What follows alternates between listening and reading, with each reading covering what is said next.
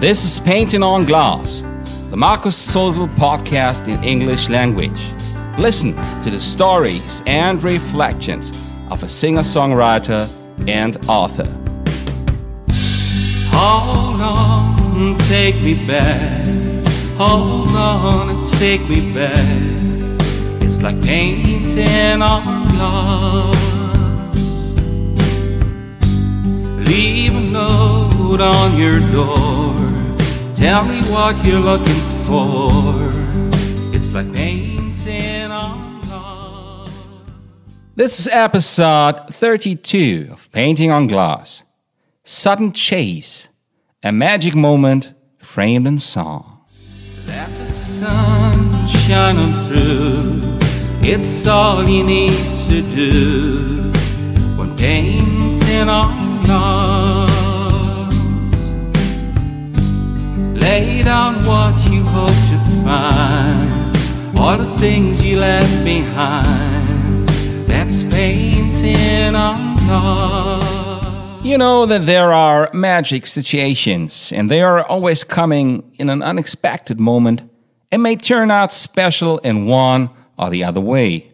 Always so beautiful. this is what happened right as a start into the following song a couple of years ago. What of it?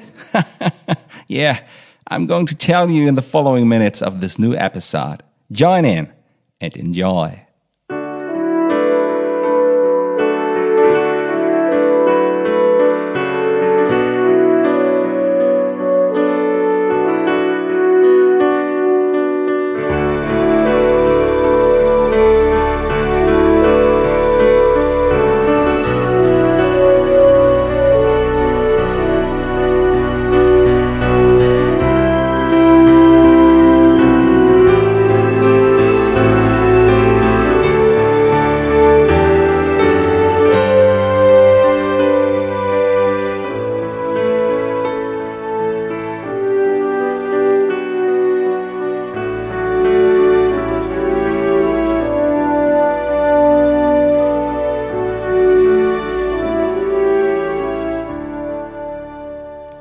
I got to do a lot of driving in my car and on my own. I have to, and I really love to. That is, because it takes me somewhere and opens up my eyes to things I might look at for the first time. Or it takes me right into a scene that is about to remain unique or does not happen again, just the same way. Sarah in her evening dress, and for a while I must confess, I looked at her surprised, dressed in silver satin laces, clinging to her body traces. She looked so dear that night. I was driving out somewhere in the east of North Rhine Westphalia. I got there by chance, and I was not prepared for the things appearing to my eyes then. Quite a lot of people were on the streets that afternoon in early summer that year in this small and beautiful town. I realized they all were dressed up in a correct manner and seemed to be on their way to the town hall that was decorated with the flags of a local political branch of a bigger political party. Ooh. There's a partner in some party action. She used to be everyone stood alive. She looked so settled, asking me, reaching everyone to see. Far away from the city life. There, a beautiful young woman stood at the side of the road inside the mellow sphere in the center of this small town. The town hall was just about two minutes ahead, and she seemed to be waiting for someone. Her dress was made of silk, and the light summer breeze offered the shade of a fabulous female body underneath when it moved the silk softly to and fro. And from the other side of the street, I could see a young man in a hurry, reaching out for her. He surely was late, and the woman seemed to be waiting for him. He was running desperately, and could you could sense the words he thought about, telling her for an excuse, just as he was trying to get his tie in the right position. So much for you to achieve. You've learned you won't get it all, but you still do believe. You try to turn the page somehow, to get attracted anyhow, and still something seems missing, and still something seems. When they finally met, they both looked to their neighbors passing them, also on their way to the town hall. They did greet each other in a very familiar and friendly way, just the way they do far away from the city lights and while knowing each other for many years. But could, you could also glimpse that there was something else in the eyes of the woman and the young man. The way they looked at each other was kind of strange. She wanted to be there in time, and he, he was late. Maybe, maybe she was hoping for going somewhere else in years to come. I don't know. But in mind, I gave her the name Sarah. I drove by with my car that night, and she soon faded out of sight. Some boy hurried up to her. The purse she held to her breast, he seem to huddle without rest. For being too late. There's so much for you to achieve. You learned you won't get it all, but you still. When you try to turn the page somehow, to get attracted anyhow, and still something seems missing, and still something seems missing. Of course, I do not know them. I'm just guessing. But that's what you do when you join in such a moment and leave just the other.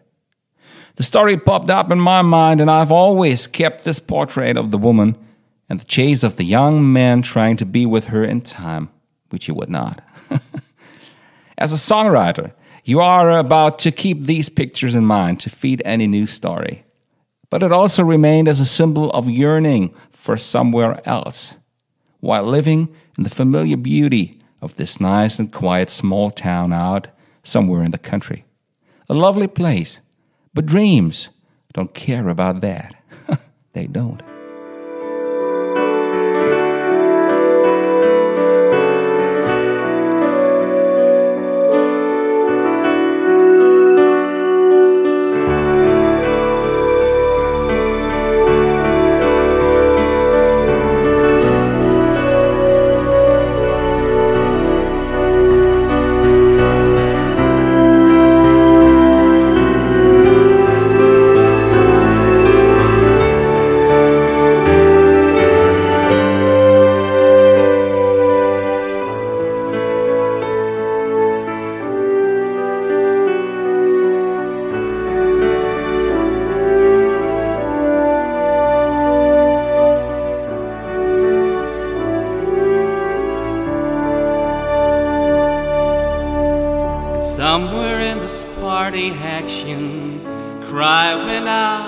Satisfaction.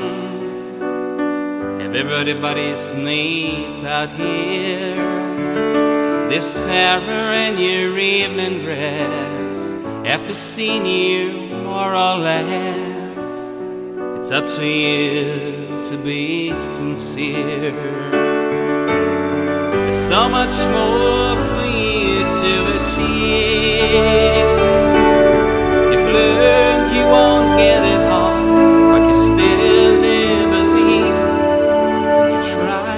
Turn the page somehow to get attracted anyhow, and still something seems missing, and still so much seems missing. Well, in mind, I remained there for a few moments more, and I hoped that they would find out the decision for both of them, or maybe for each of them, however. Town halls and political happenings are not always the ideal places to find out about that, but you're also bound to walk on a path you grew up on. In case you learn to decide on such a path, it can be hard to learn otherwise, to get on better. terror in your evening dress. And for a while, I must confess, I looked at her surprised. Dressed in silver satin laces, clinging to her body traces. She looked so dear that night.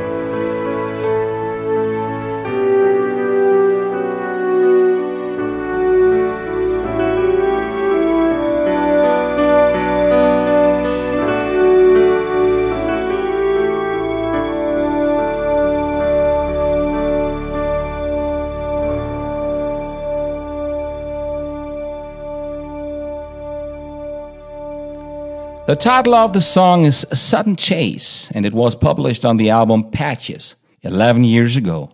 It is not available on music outlets or the internet, just on physical CD, which you can purchase via the contact area of my website.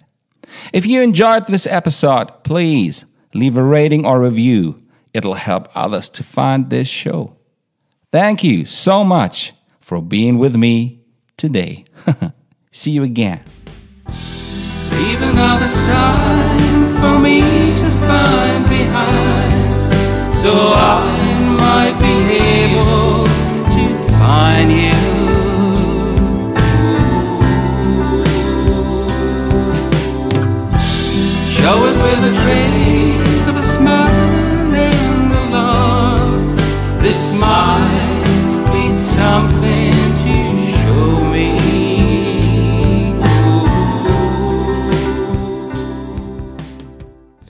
We'll meet here in a few episodes to come, if you want to.